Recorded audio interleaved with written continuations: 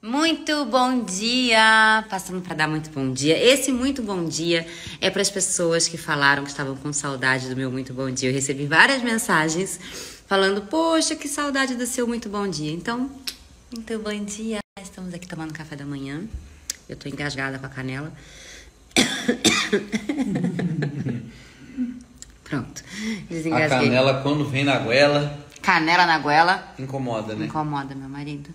Teodoro já está aqui, tomando seu café da manhã. Saiu de lá do lado do papai porque tava sol. Uhum. E dona Melindinha, cadê você? Eu estou aqui. Levanta o bracinho pra eu te ver.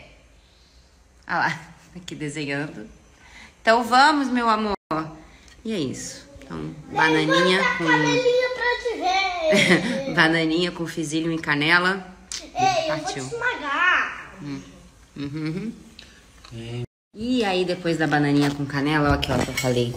A minha crepioca, que é a goma da tapioca com ovo, claras e o cottage. Que muita gente me pergunta o que eu como no café da manhã. E o meu bolinho, né, gente? Lá, ó. Morder minha maçã. Café da manhã, tchá, tchá, tchá. E agora temos a presença da Melindinha, que já acabou o seu desenho. Então é isso.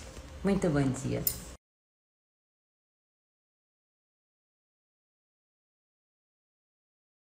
Uhum, a bonita já malhou. Ai, meu Deus. Aquela felicidade da pessoa que já malhou. Olha isso, que belezinha. Pronta para um dia de gravação.